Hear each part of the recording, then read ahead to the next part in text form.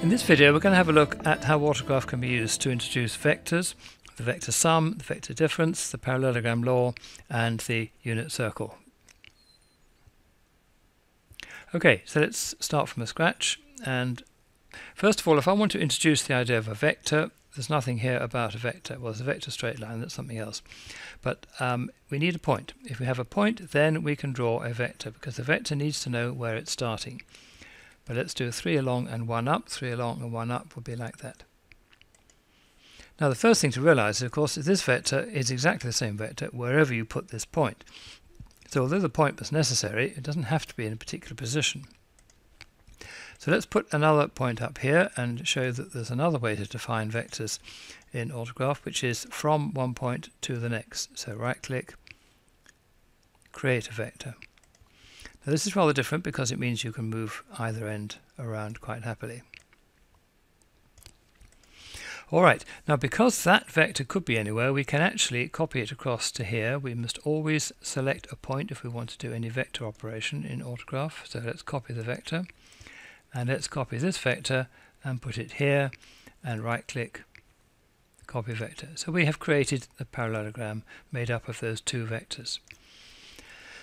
Now to introduce vector algebra, it's important to realize that the starting point is that the sum of two vectors is the definition. So the sum of two vectors, this vector plus this vector, is the sum of the x's and the sum of the y's, and therefore it's that diagonal.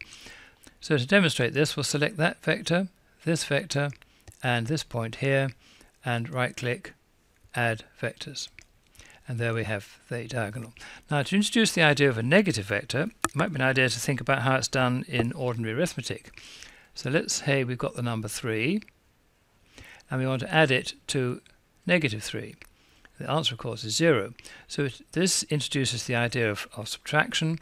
So we, in order to make it work, we need to have a negative defined and a 0 defined. Trivial in ordinary arithmetic, but in vectors it just needs a little bit of thought. So I'm going to drag this point round here until the sum is 0. So if I can do that, then I have successfully established that there is such a thing as a zero vector, and a negative vector is just the same as a positive vector, but everything is minus what it was. So if we want to, to subtract, say, this vector and this vector, we need to have, have the order correct but it's going to be minus this one. This is this one positive, so going the other way is minus this one plus this one. So the subtraction of these two vectors is going to be the other diagonal. So it's quite extraordinary, really, that the, the two essential arithmetic operations of vectors are sorted out by the two diagonals. So let's try this. So this one and this one, and put the answer here, and right-click, uh, subtract vectors. There it goes.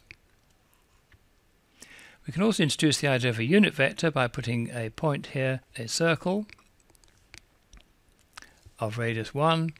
And so if we ask for this vector and this point, and then the unit vector, you can see that it's in the same direction as this, but length 1, and it merely goes around the circle like that. So there we go, that's a quick introduction to vectors in AutoGraph.